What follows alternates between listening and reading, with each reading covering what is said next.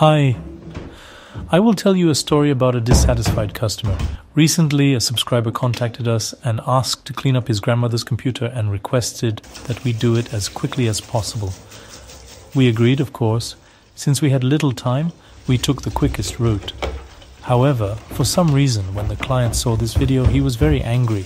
Perhaps we should have taken the time to disassemble and clean everything in parts.